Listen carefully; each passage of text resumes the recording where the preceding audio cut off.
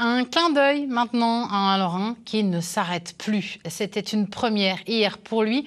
Aux commandes de l'émission Slam sur France 3, Théo Curin, le nageur handisport, bien connu pour ses défis sportifs, a repris la présentation de ce jeu télé en remplacement de Cyril Ferraud. Vous l'avez peut-être déjà vu. Une aventure extraordinaire pour le Lunévillois, amputé des quatre membres après une méningite. Le récit de Grégory Boileau avec Ludovic de Bruyne.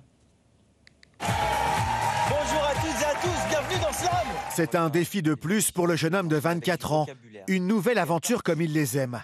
Depuis hier, Théo Curin est officiellement l'animateur du jeu télévisé Slam. Hyper heureux, hyper honoré de pouvoir venir m'amuser avec vous tous les jours. Merci de votre confiance. Théo Curin est un touche-à-tout, rien ne lui fait peur.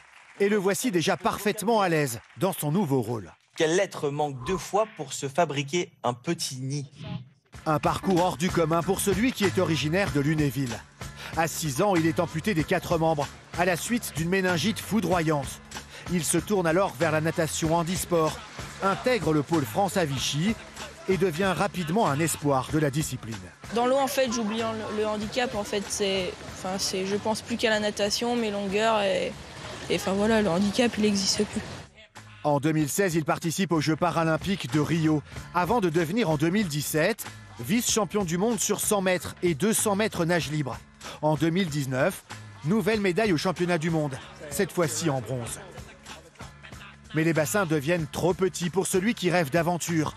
En 2021, il traverse à la nage le lac Titicaca, entre le Pérou et la Bolivie. Théo Curin devient un symbole, une véritable star.